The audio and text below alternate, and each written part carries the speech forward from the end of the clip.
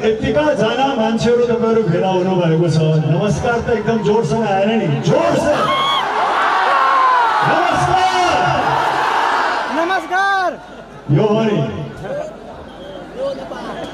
एकदमै खुसी लाग्यो तपाईँहरूको आजको यो क्षेत्रमा आउनु पाउँदाखेरि तपाईँहरू सबैलाई यो उपस्थितिको लागि यो स्वागतको लागि यहाँहरू सबैलाई धेरै धेरै धन्यवाद छ।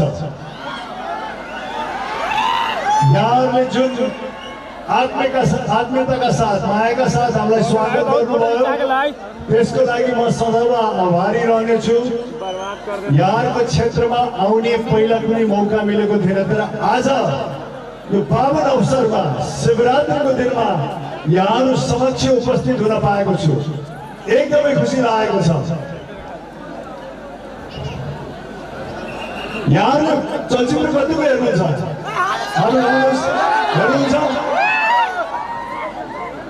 हामी कलाकारहरू विभिन्न क्षेत्रमा जान्छौँ के नेपालको विभिन्न भूभागमा जान्छौँ पूर्वमा जान्छौँ पश्चिममा जान्छौँ हिमालमा जान्छौँ तराईमा आउँछौँ र सबैभन्दा खुसी के लाग्छ भने हाम्रो कलाले हाम्रो संस्कृतिले सबै नेपालीलाई हामी विभिन्न क्षेत्रमा छरिएका छौँ विभिन्न भाषा बोल्छौँ विभिन्न धर्म अप्नाउँछौँ विभिन्न खानपिन छ हाम्रो हो कि होइन?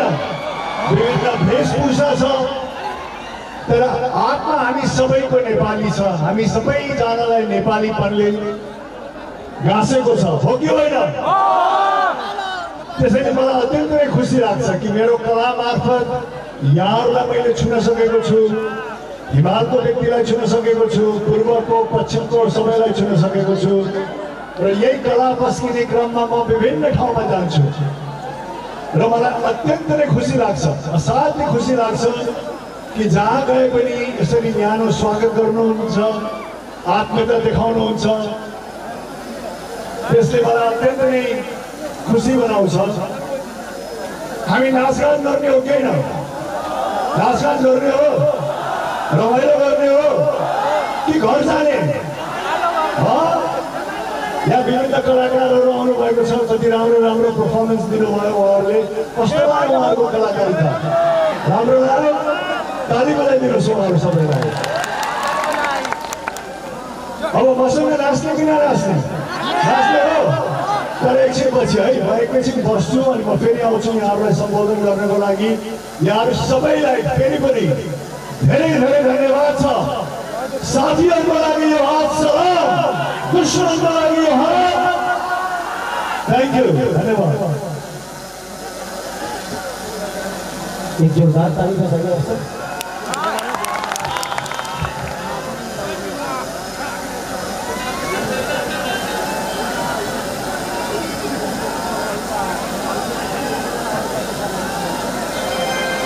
प्रीति आर्या प्रीति आर्या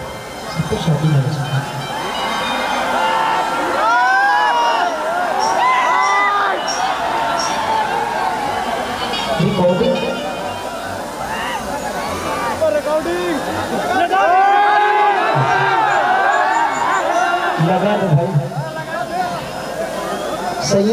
रोटी खेलो